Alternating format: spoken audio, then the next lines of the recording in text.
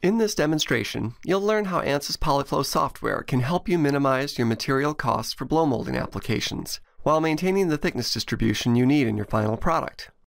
Presented here are the results of two Polyflow simulations, shown side by side.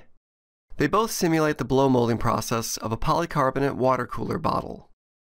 They begin with a cylindrical parison, which over the course of the simulation will be pinched off by a moving mold and then inflated to take the final shape.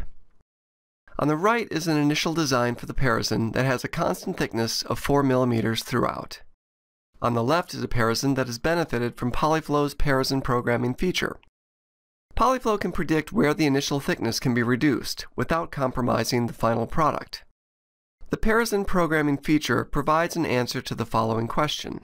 What should the initial thickness of the parison be to meet a targeted final thickness? In theory, this question may be asked for each point on the part.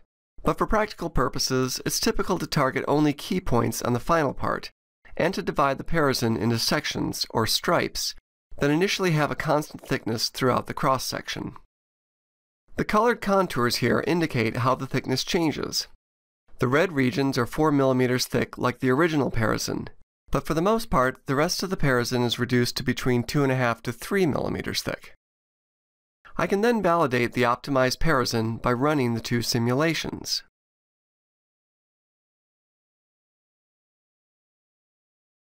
As you can see, the optimized case has a substantial reduction of material in the flash, that is, the plastic that lies outside the mold that will be trimmed and then recycled. While the flash may have changed, it's clear that elsewhere the optimized design has a material distribution that's very similar to the original design. This means that the strength of the optimized part was not affected by the reduction of the parison material. As a logical next step, you could use ANSYS Workbench to transfer the results of your optimized blow molded part to our FEA solver. There you could run simulations that use this realistic material distribution to see what stresses develop when the part's subjected to loading, such as top loads or drop tests. This concludes this demonstration of Polyflow's Parison programming feature for optimizing blow molded thickness. It's just one of the many ways ANSYS helps you realize your product promise.